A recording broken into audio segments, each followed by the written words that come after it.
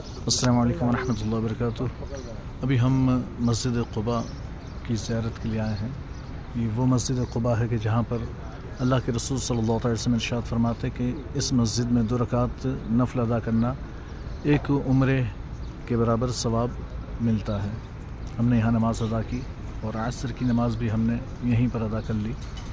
اور اسی کے بالکل متصل جو میں آپ کو بتانے والا ہوں، مسجد قباء کے بالکل پیچھے ایک مقام ہے اور یہ وہ مقام ہے کہ جہاں پر جسے بئر عریض کہتے ہیں اور بئر خاتم بھی کہتے ہیں۔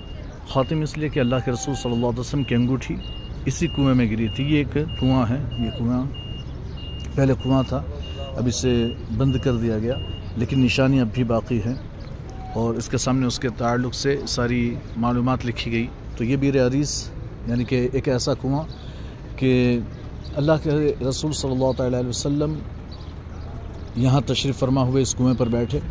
آپ کی داہنی جانب ابو بکر صدیق رضی اللہ تعالیٰ عنہ تھے اور آپ کے بائیں جانب حضرت عمر ابن خطاب رضی اللہ تعالیٰ عنہ تھے اور حضرت عثمان غنی رضی اللہ تعالیٰ عنہ آپ کے سامنے یعنی ان کے تینوں کے سامنے حضرت عثمان غنی تھے۔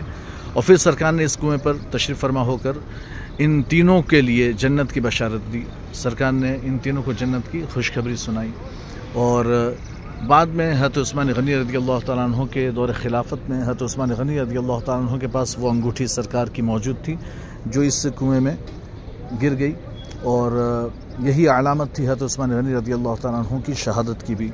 تو حضرت عثمان غنی رضی اللہ تعالیٰ عنہ کو اس کے بعد شہید کر دیا گیا۔ اسی کنویں میں وہ انگوٹھی موجود ہے اللہ کے رسول صلی اللہ علیہ وسلم کی۔ تو یہ ایک نشانی تھی۔